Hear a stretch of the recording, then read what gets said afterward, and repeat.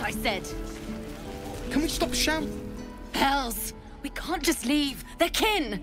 I'll not gamble our lives, our futures, on people who are as good as dead. We must leave for Baldur's Gate at once. Can we all just take a moment, please? What's the point in blades and spells if we don't bloody use them? We should stay! These people aren't fighters. We can help! Oh, or yell louder. That's fine too.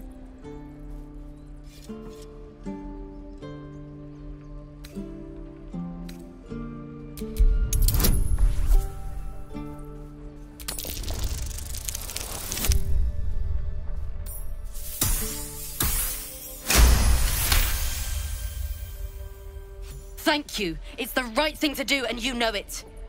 She's right, Rolan. We're better than this. Zergen. Fine, I'll stay too. Lest you both end up with your throat slit by Goblin Blade. Thank you, Rolan.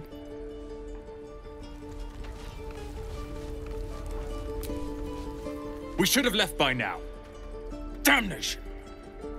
Instead, we're just sitting here, practically begging to be attacked. Staying is a mistake.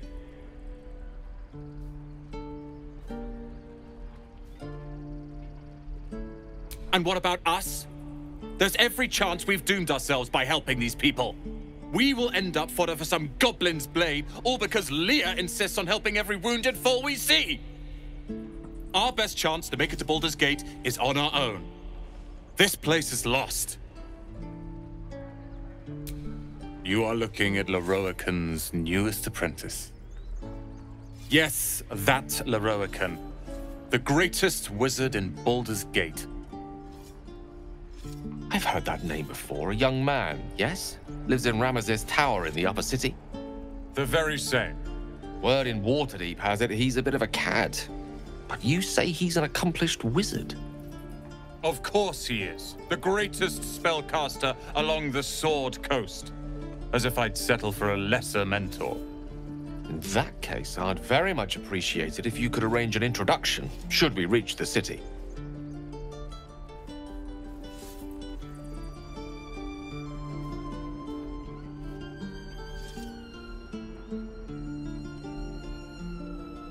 If it's powerful acquaintances you're after, you have to look no further than yours truly.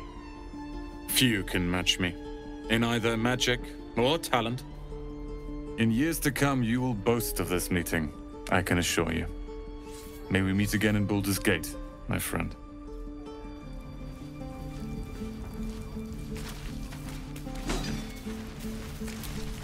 This place is a bloody death trap, not a sanctuary. You should clear off while you can. And again. Swing and swing and. Oh, uh, right. Uh, go for the heart. Go on. Give me a best shot.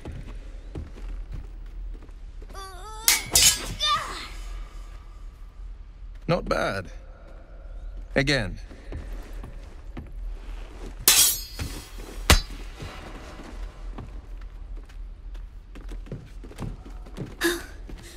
I can't do it. I'm not like you. Umi, I don't need you to be like me. You just have to buy enough time to run. Come on. I believe in you. You can do this.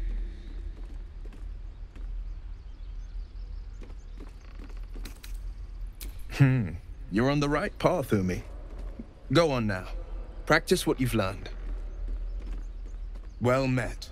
The Blade of Frontiers at your... The man's smile bends downward, and his thoughts become yours. You are the blade of frontiers racing through the wastes of Avernus. Just ahead, a diabolical figure, red skin, single curled horn, blazes with flame, bloodied great axe held. Hell's great fires. You were on the ship.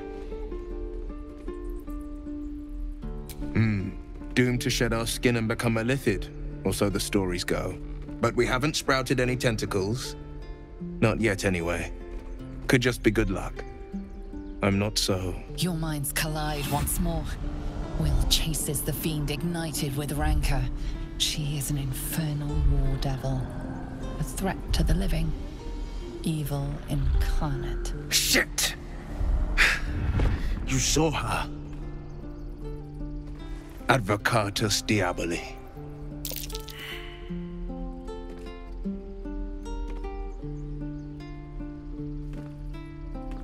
Her name is Karlach, an archdevil soldier I swore on my good eye to kill. I tracked her through the hells to the Mind Flayer ship, but the damned Illithids infected me before I could end her. She's out there now, preying on the innocent. I don't kill her, she'll leave behind nothing but a trail of corpses.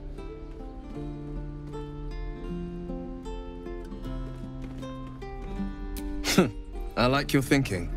Besides, I watched you fight at the gate. I could use an ally like you. Ready when you are. Hmm. The famous Blade of Frontiers in the flesh. Clever, this hero act you've got going. Hero, Blade. Name strangers gave me. My friends call me Wyll. Excellent. If we ever become friends, I'll know what to call you.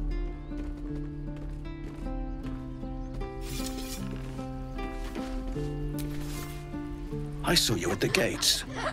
You fight well. A few words for the kids? Spare a story or two.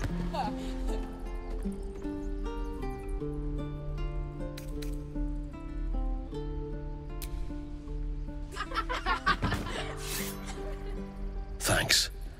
I prefer when they smile. Any questions, children? Ah!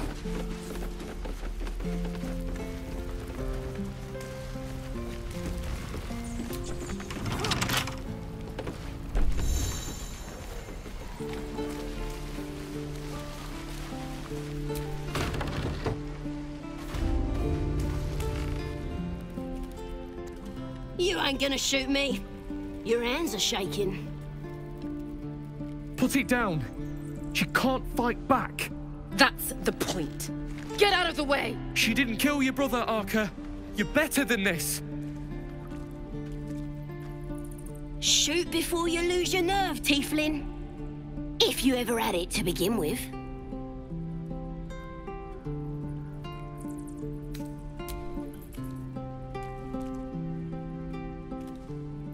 Looks like the Absolute sent me a protector.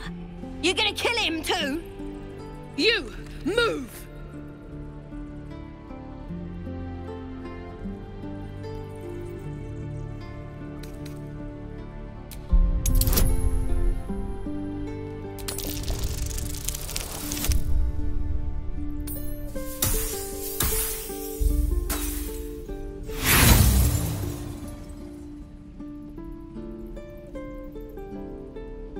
Cares? You fought for us, so I'll give you one last chance. Move!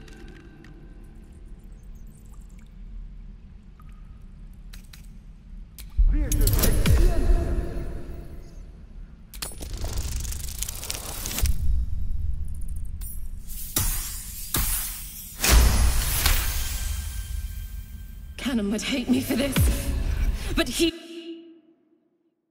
him from me. Don't you dare! Damn you. Damn it! Why do you care if a goblin lives or dies?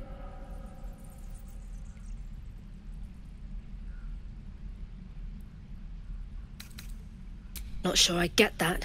The bars don't make her special. But fine. Whatever. It's all right, Arka. Let's go. Oh, you thieves are all boring. Even your cages are boring.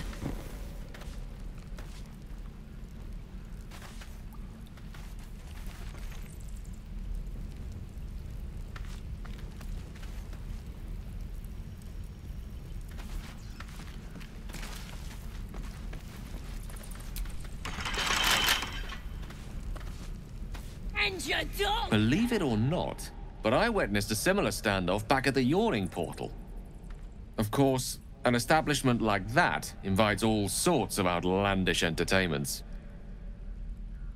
An inn in Waterdeep. Oh, never a dull moment there. Adventurers come from all over Faerun to try their luck down the well.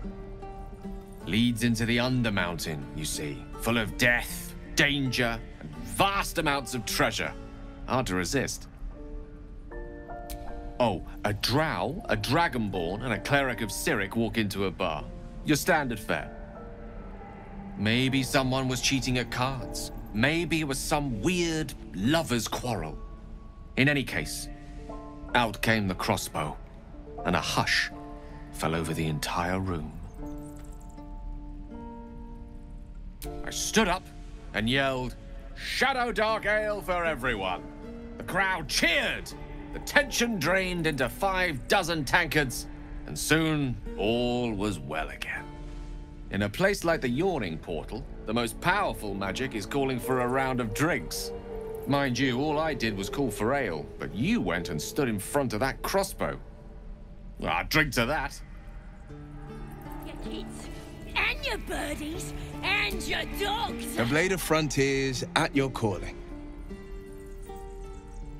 Karlach's fires raged in Baldur's Gate before she escaped to Avernus, as my source told it, and she was planning to return. One of the archdevils Zariel's own, chaos incarnate, a devil with pure fire for a heart. I made my way to Avernus to stop her. She fled from my reach, even climbed aboard the Mind Flayer ship as it screeched through the hells. I followed in close pursuit. I can't bear to imagine the lives Karlach might be taking, the damage she might be doing. A powerful friend with a keen interest in privacy. I'm sworn to say no more. All right. What else is on your mind? My father once said, one does not pursue a champion's life. One merely answers its call. So it was for me. I was hunting near the Cloakwood when I heard it. A child crying out from a lone farmstead. I found him in the fields, flanked by goblins. His mother's corpse bled into the soil next to him. I don't remember much of the battle, but I remember drying the boy's tears after.